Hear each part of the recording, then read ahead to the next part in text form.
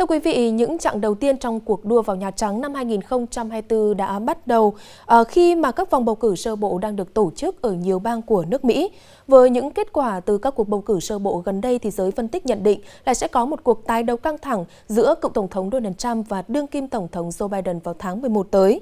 Và kết quả bầu cử thì sẽ có nhiều hệ lụy đến chính sách đối nội, đối ngoại cũng như là cách thức Mỹ tham gia vào hàng loạt vấn đề nóng trên thế giới hiện nay. Và để phân tích rõ hơn về cuộc bầu cử quan trọng này thì chúng tôi đã có cuộc trao đổi với đại sứ Nguyễn Quốc Cường, nguyên đại sứ Việt Nam tại Mỹ, nguyên thứ trưởng Bộ Ngoại giao. Và trước hết xin được cảm ơn đại sứ đã nhận lời tham gia chương trình Ban tròn thế sự của Đài Phát thanh Truyền hình Nghệ An ngày hôm nay.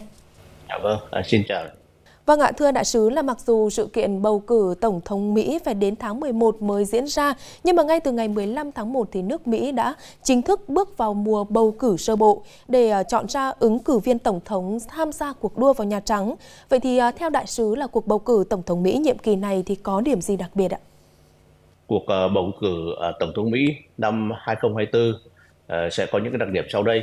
Thứ nhất là nhìn toàn phạm vi toàn thế giới thì thế giới đã bước qua cái về cơ bản đã bước qua cái đại dịch à, Covid và không còn cái giãn cách xã hội giống như là bầu cử năm 2020 nữa.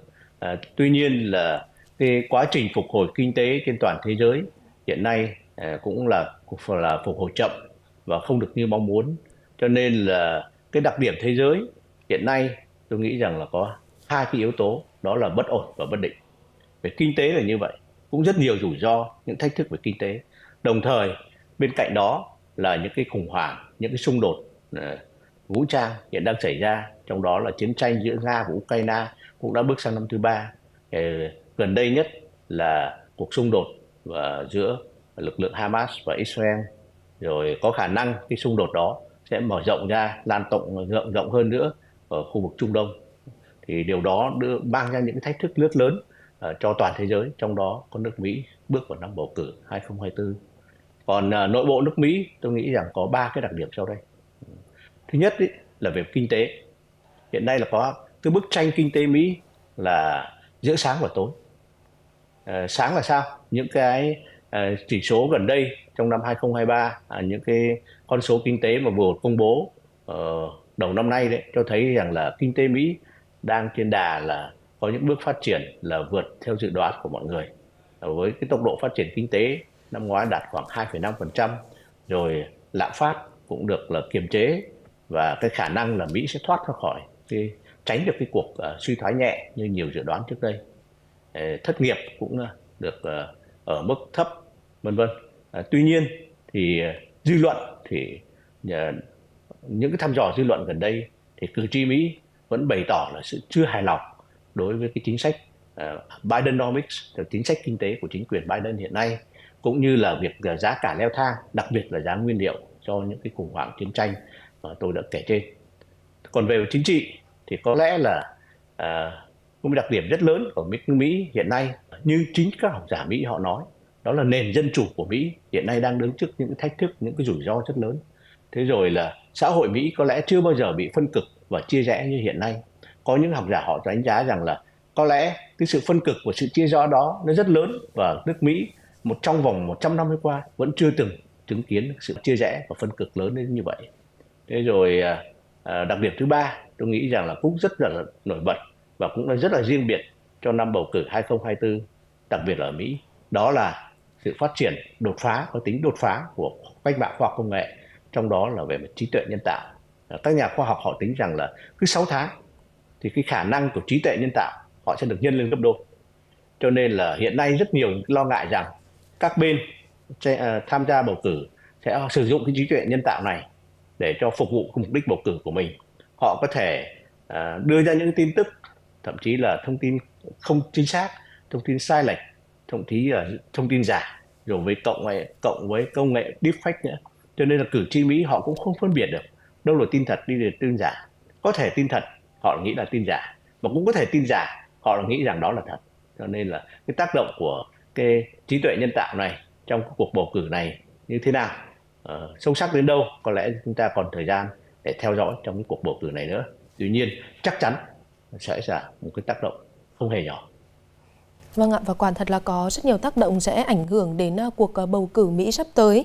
Vâng, và như chúng ta đã biết là trong các cuộc bầu cử thì mối quan tâm của cử tri thì thường là yếu tố quan trọng tác động tới kết quả. Vậy thì à, theo đại sứ là điều gì quyết định đến lá phiếu của cử tri Mỹ trong cuộc bầu cử tổng thống năm nay ạ? À, đúng như vậy. Có lẽ là các uh, uh, ứng cử viên tổng thống Mỹ thì họ cũng sẽ tìm cách làm sao để đáp ứng được uh, theo như họ uh, những cái quan tâm của cử tri Mỹ à, đến đâu. Thì à, những cái chính sách của à, của của ứng cử viên tổng thống Mỹ hoặc là về đảng dân chủ hay đảng cộng hòa là hai đảng chính trị lớn nhất ở, ở nước Mỹ đấy thì sẽ tập trung vào mấy vấn đề. Cái thứ nhất là vấn đề kinh tế. Thì hiện nay thì như phần trên tôi đã trình bày là kinh tế Mỹ vẫn là hai cái mảng sáng và tối. Thì uh, chính sách kinh tế làm sao để giúp Mỹ phục hồi và phát triển hơn nữa để tạo thêm nhiều công an việc làm để uh, khống chế được cái lạm phát thì tôi nghĩ rằng đó là cái uh, ưu tiên mà cử tri Mỹ quan tâm hàng đầu và cũng là chính sách và các, trong cái chương trình nghị sự mà các ứng cử viên tổng thống phải nêu ra được. Uh, thứ hai là về chính trị Mỹ thì có lẽ là xã hội Mỹ hiện nay là họ nói rằng là nền dân chủ Mỹ chưa bao giờ bị thách thức và đe dọa như hiện nay. Ừ. Giữa phong trào giữa chủ nghĩa tự do ờ, với phong trào ngược lại với phong trào ờ, chủ nghĩa bảo thủ rồi ờ, cực hữu vân vân. Có lẽ đó là vấn đề chính trị Mỹ là sẽ tiếp tục là một cái vấn đề hết sức quan tâm. Vấn đề thứ ba nữa là những chính sách liên quan đến vấn đề xã hội của nước Mỹ. À, như vấn đề là nước Mỹ người Mỹ rất quan tâm đến vấn đề sở hữu súng đạn chẳng hạn. Rồi vấn đề giáo dục rồi vấn đề di cư người dân di cư. Ờ, chính sách nới lỏng hay là thắt chặt hơn nữa vận chuyển di cư. Thế rồi những chính sách liên quan đến ờ, đến ờ, bình đẳng giới đến quyền của những người đồng đồng tính rồi thậm chí những quyền chuyển giới vân vân. Tất cả những vấn đề đó đều là những vấn đề mà người Mỹ rất quan tâm và à, họ sẽ ảnh hưởng chính sách của các cử, ứng cử viên đưa ra về những vấn đề đó nào. Trong quá trình vận động tranh cử họ phải nêu ra và họ có những cái chính sách đó nó sẽ ảnh hưởng đến cái lá phiếu của họ. Thế rồi về mặt đối ngoại thì không phải là cái mối quan tâm hàng đầu của cử tri Mỹ. Tuy nhiên, nó tác động đến đến đến đến đến nền kinh tế Mỹ thì họ quan tâm. Cho nên là việc cách thức à, chính sách của Mỹ làm sao trước cái chiến tranh giữa Nga và Ukraine hiện nay, cũng như là cách thức làm sao đó để hòa giải ứng biến trước cái xung đột ở Trung Đông, đó là những vấn đề mà có lẽ cử tri Mỹ cũng quan tâm. Vâng và Mặc dù là từng bị luận tội tới hai lần và đang phải đối mặt với nhiều rắc rối pháp lý, nhưng mà cựu Tổng thống Donald Trump vẫn giành chiến thắng vang dội ở hai bang bầu cử sơ bộ đầu tiên của Đảng Cộng Hòa là Iowa và New Hampshire và có cơ hội cao trở lại Nhà Trắng khi mà nhiều người ủng hộ sẵn sàng bỏ phiếu cho ông. Vậy thì theo đại sứ thì đâu là mấu chốt để khiến ông Trump vẫn nhận được ủng hộ mạnh mẽ như vậy? Ừ, đúng là ông Trump vừa rồi thì uh trong cái bầu cử sơ bộ ở hai bang ờ, của Đảng Cộng Hòa thì đã giành chiến thắng rất là vang dội. Và hiện nay thì ờ, chỉ còn ờ, trong Đảng Cộng Hòa chỉ còn hai ứng cử viên thôi ông Trump và bà Nikki Haley. Ông Trump khả năng cao sẽ trở thành ứng cử viên cho Đảng Cộng Hòa trong cuộc bầu cử này. Còn cái khả năng ông có trở thành tổng thống hay không lại là câu chuyện khác. Chứ còn tại sao ông Trump vẫn được sự ủng hộ cao như vậy? Nó có mấy yếu tố thứ nhất là ông Trump đã từng là tổng thống Mỹ. Cho nên là lực lượng trung thành ủng hộ ông Trump cũng rất lớn. Đấy là lợi thế rất lớn. Bà Haley không có cái điều đó. Cho nên là ông Santis uh, thống đốc bang Florida ngay sau bầu cử đầu tiên ở bang Iowa là cái ông Santis được đánh giá là đối thủ đáng gờm nhất của ông ông ông Trump trong cái bầu uh, ở đảng cộng hòa thì ngay sau cuộc cử đầu tiên mà thấy ông trump thắng rồi vang dội ông đã xin rút ngay rồi. Và ông lại quay sang ủng hộ ông trump. Cho nên là cái lực lượng trung thành ủng hộ ông trump từ trước đến nay cũng là rất lớn đó là rất là đáng kể. Cái thứ hai nữa có lẽ là sau 4 năm tổng thống làm tổng thống Hoa Kỳ thì ờ, nhiều người vẫn đánh giá rằng là ông Trump đưa ra được những cái ờ, chính sách những cái quyết sách về kinh tế giúp cho kinh tế Mỹ à, phát triển phục hồi ờ, là đáng kể trong thời gian ông làm tổng thống và điều họ vẫn nhớ điều đó. Tỷ lệ thất nghiệp thời ông Trump là thấp nhất, thấp nhất trong nhiều năm qua. À, hiện nay thì à, tỷ lệ thất nghiệp cũng đang thấp nhưng mà vẫn chưa đạt được cái số thấp như là thời ông Trump 3,5%. Rồi lạm phát cũng vậy, cũng giảm. Cho nên họ đánh giá ông Trump với tư cách là một nhà kinh doanh, một nhà doanh nghiệp thì cái khả năng điều hành kinh tế của nước Mỹ ờ, theo như nhiều cử tri họ đánh giá là có khả năng sáng sủa hơn. So với, ví dụ, tôi so với bà Haley chẳng hạn, là bà là chuyên về đối ngoại nhiều hơn, thống đốc một bang thì cái ông Trump đã có thử thách. Thứ ba nữa là cũng nhiều người à, thích cái tính cách rất là quyết đoán, rất là mạnh mẽ của ông Trump trong việc ứng xử xử lý các vấn đề, kể cả vào đối ngoại chẳng hạn. Cách ứng xử đối với Trung Quốc, cách ứng xử đối với à, các phần thế giới. Rồi là hiện nay với cái nền kinh tế Mỹ đang uh, có những vấn đề như vậy thì cử tri Mỹ họ quan tâm đến nước Mỹ nhiều hơn. Cho nên những cái chính sách của ông Trump thắt chặt cái chuyện uh, nhập cư chẳng hạn cũng được nhiều cử tri ủng hộ. Thì tóm lại là ông Trump đã có một lợi thế đã từng 4 năm làm tổng thống. Với những chính sách mà được nhiều cử tri Mỹ ủng hộ nên họ ông Trump đã có một cái lực lượng ủng hộ rất là trung thành từ trước tới nay. Mặc dù ông cũng gặp khá nhiều cái rắc rối về pháp lý nhưng họ các cử tri họ không quan tâm đến những vấn đề rắc rối pháp lý đó, mà họ quan tâm đến những chính sách ông Trump có thể đưa ra nếu ông được bổ nhiệm và được bầu cử làm tổng thống Mỹ. Vâng ạ. Và cuộc bầu cử Mỹ thì hiện đang có tất cả các dấu hiệu là hướng tới một cuộc tái đấu giữa Tổng thống Joe Biden và ờ, người tiền nhiệm Donald Trump. Vậy thì ờ, đại sứ đánh giá như thế nào về thách thức và cơ hội của hai ứng viên này và có thể tồn tại những ờ, biến số nào khiến kịch bản về một cuộc tái đấu thay đổi hay không ạ? Vâng, đúng là hiện nay thì dư luận, à, kể cả dư luận Mỹ thì đa phần cũng đều à, đưa ra một kết luận sớm là đây sẽ là cuộc à, tái đấu giữa hai ông là ông Donald Trump và ông tổng thống đương nhiệm là Joe Biden. Thì với cả hai người thì đều có những cơ hội và thách thức. Cái cơ hội lớn nhất đối với ông Biden thì có lẽ là ông là được tổng thống đương nhiệm. Cho nên là những chính sách hiện nay cũng đang vận hành Ờ, một cách trơn tru ờ, kinh tế Mỹ mặc dù là chưa được như kỳ vọng tuy nhiên hiện nay kinh tế Mỹ cũng cũng, cũng có những cái ờ, bước phát triển cũng không phải là nhỏ kinh tế Mỹ năm hai 2023 là phát triển 2,5% như tôi đã nói, năm 2022 là 1,9%. Đối với nền kinh tế Mỹ đó là con số không hề nhỏ. Rồi lạm phát thất nghiệp đều đang được trong kiểm tỏa nhất định.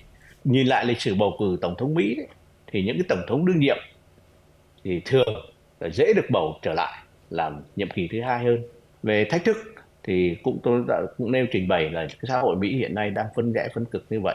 Thế rồi kinh tế Mỹ thì các cử tri họ cũng mong muốn có một cuộc sống tốt đẹp hơn uh, thu nhập cao hơn rồi vấn đề làm sao được hạ hạ được cái giá à, à, năng lượng nhiều hơn mà cái đấy là thách thức không nhỏ vân vân thì đó lẽ là cả cả cơ hội và cả thách thức ừ. còn đối với ông Trump thì tôi nghĩ rằng là cơ hội thì ông cũng đã từng là tổng thống. Ông đã từng chứng minh được là cái khả năng khi ông làm tổng thống Mỹ à, đặc biệt đối với vấn đề điều hành nền kinh tế Mỹ. Ừ. Tuy nhiên là cái, cái thách thức của ông Trump cũng không hề nhỏ. Cái thách thức lớn nhất tôi nghĩ rằng là ông đang bị rắc rối pháp lý. Khi ông làm tổng thống thì ông cũng là hai lần bị luận tội. Có lẽ là cũng là tổng thống mỹ đầu tiên đương nhiệm mà là hai lần bị luận tội thế rồi sau khi tổng thống hiện nay thì ông đang phải ứng chịu với bốn lần truy tố với 91 cáo buộc về hình sự. Và nếu mà tính tổng cộng lại người ta tính tổng cộng lại những cái cáo buộc hình sự đó nếu mà ông bị à, kết tội đấy thì ông phải chịu đến 700 năm tù. Có lẽ là cũng là một nước Mỹ là cũng nước hết sức đặc biệt mà người đang bị rắc rối pháp lý như vậy mà vẫn có thể trở thành một cái uh, ứng cử viên sáng giá cho cái bầu cử tổng thống. Uh, cái điểm đặc biệt ở đây là ông Trump ấy, ông có khả năng là biến những cái rắc rối pháp lý những cái gọi là lẽ ra là thách thức lớn như vậy đối với mình cá nhân mình ông lại biến thành cơ hội. Nói rằng ông đang bị là uh, chiến dịch săn phù thủy vân vân để thành biến thành cái cơ hội để cho cái vận động bầu cử của mình. Tôi nghĩ đó cũng là cái khả năng rất là đặc biệt của ông Trump vân vân. Thì tóm lại là cả hai ông Trump và ông Biden đều có những thách thức và cơ hội lớn không hề nhỏ chút nào cả thế còn à, biến số liệu có điều gì xảy ra có thể làm thay đổi cái cái cái bức tranh à, bầu cử tổng thống Mỹ hiện nay hay không? Rồi có lẽ là cũng chúng ta cũng không chưa lường hết trước được nhưng tôi nghĩ rằng là biến số lớn nhất ở đây tôi nghĩ rằng là vấn đề đối với ông Biden đó là vấn đề tuổi tác về sức khỏe. Ông Biden hiện nay năm năm nay là 81 tuổi. Thì một số học giả Mỹ họ đánh giá rằng là Ờ, khả năng ông tái cử ờ, tái đắc cử trở lại tổng thống Mỹ nhiệm kỳ thứ hai thì kết thúc nhiệm kỳ ông cũng là 86 tuổi cũng là một cái tuổi rất là lớn với sức khỏe của ông Biden hiện nay. Thì đó, đó cũng là mối lo ngại eh, cho nhiều cử tri Mỹ. Biến số thứ hai tôi nghĩ rằng là những rắc rối tính những rắc rối pháp lý có thể là cơ hội nhưng mà cũng là những cái biến số. Tôi không loại trừ khả năng trong thời gian đó ông Trump sẽ bị tòa án cấp này cấp nọ tuyên án thì nếu có khả năng xảy ra như vậy thì người Mỹ hiện nay họ nói là họ cũng chưa mường tượng được ờ, trong lịch sử của họ cũng chưa chứng, chứng kiến được là là là một người mà có bị tòa án kết tội mà lại có thể được tham gia tranh cử bầu cử tổng thống hay không thì tôi nghĩ rằng đấy cũng là biến số mà bản thân người Mỹ cũng họ đang cũng phải tính toán. Vâng, vậy thì à, theo đại sứ làm việc một trong hai ứng cử viên của cương quốc hàng đầu thế giới này tái đắc cử thì à, sẽ tác động như thế nào đến chính sách đối nội, đối ngoại của nước Mỹ cũng như là cục diện thế giới trong những năm tiếp theo ạ? Vâng, vì à, nước Mỹ với cái vai trò hiện nay vẫn là cái siêu cường duy nhất với cái sức mạnh về kinh tế, về quân sự, sức mạnh tổng hợp của nước Mỹ như vậy, về khoa học công nghệ, vân vân thì mặc dù là nước Mỹ trên cái đà chung là đang suy yếu dần đi nhưng hiện nay cũng lẽ chưa một quốc gia nào có thể thách thức được cái vị trí đó của Mỹ. Cho nên kết quả của bầu cử tổng thống Mỹ ai thắng cử ông ờ, Biden sẽ tiếp tục tái đắc cử hay là ông Trump sẽ trở lại nhiệm kỳ 2 sau một thời gian 4 năm gián đoạn thì đây là sự quan tâm hết sức lớn của toàn thế giới. Với ông uh, Joe Biden nếu ông được tái đắc cử làm tổng thống Mỹ thì mọi người đều nghĩ rằng là những chính sách hiện nay về mặt đối nội cũng như là về đối ngoại chắc về cũng giống như là chính quyền Biden đang thực hiện triển khai hiện nay không có gì thay đổi đột ngột. Và thế giới chúng ta à, cũng dễ dự đoán hơn có thay đổi gì nữa thì không không phải là những thay đổi à, đáng kể ngoặt à, 180 độ được. Tuy nhiên nếu ông Donald Trump thắng cử thì là câu chuyện hoàn toàn khác. Và thế giới hiện nay cũng bày tỏ nhiều người thì ờ, cũng bày tỏ sự lo ngại nhất định là nếu ông ờ, Donald Trump thắng cử về mặt đối nội thì có lẽ là ông Donald Trump đưa ra những chính sách hoàn toàn phủ nhận của ông Joe Biden hiện nay kể cả đối nội và đối ngoại. Ừ. Nếu hiện nay ở về mặt đối ngoại tôi xin phân tích thêm một chút về mặt đối ngoại. Thì sau thời gian ông Donald Trump với chính sách là nước Mỹ trên hết tập trung vào nước Mỹ và nước Mỹ là không can dự bỏ những cái can dự về thế giới. Thậm chí là à, những cái cam kết về biến đổi khí hậu vân vân là ông rút hết rồi vấn đề rút khỏi hội đồng nhân quyền vân vân. Thì ông Joe Biden hiện nay là đang can kết can dự lại với thế giới à, củng cố đồng minh vân vân. Thế thì rồi tăng cường những quan hệ với đối tác các đối tác bạn bè vân vân.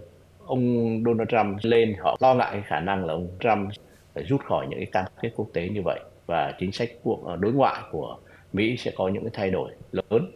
Và điều đó tất nhiên chắc chắn là sẽ tác động nhiều đến cái cục diện toàn thế giới cũng như cục diện, cục diện các cái khu vực trên thế giới khác nhau. Ông ờ, Donald Trump nói rằng là đã từng tuyên bố là nếu mà tôi bầu cử làm tổng thống Mỹ lần nữa thì chỉ trong một ngày là tôi có thể giải quyết được cái cuộc ờ, chiến tranh giữa Nga và Ukraine vân vân. Tất nhiên là ông tuyên bố là như vậy nhưng liệu có làm được không là một câu chuyện khác nhưng mà cũng không ít người Mỹ tin như vậy. Thế rồi là nếu mà tôi là tổng thống Mỹ thì chắc sẽ không xảy ra cái khủng hoảng ở Trung Đông như vừa qua vân vân thì có lẽ là uh, ông à, Donald Trump lên thì sẽ có nhiều thay đổi trong chính sách đối nội và đối ngoại của ông Joe Biden. Còn nếu ông Joe Biden thắng cử thì uh, tái đắc cử thì chính sách sẽ cơ bản như hiện nay. Vâng và xin được cảm ơn những phân tích và bình luận vừa rồi của đại sứ Nguyễn Quốc Cường. Và đến đây thì chương trình bàn tròn thế sự của chúng tôi cũng xin được kết thúc. Quý vị khán giả có thể xem lại chương trình trên website truyền hình nghệ an.vn trên kênh YouTube Nghệ An TV. Còn bây giờ xin được kính chào và hẹn gặp lại.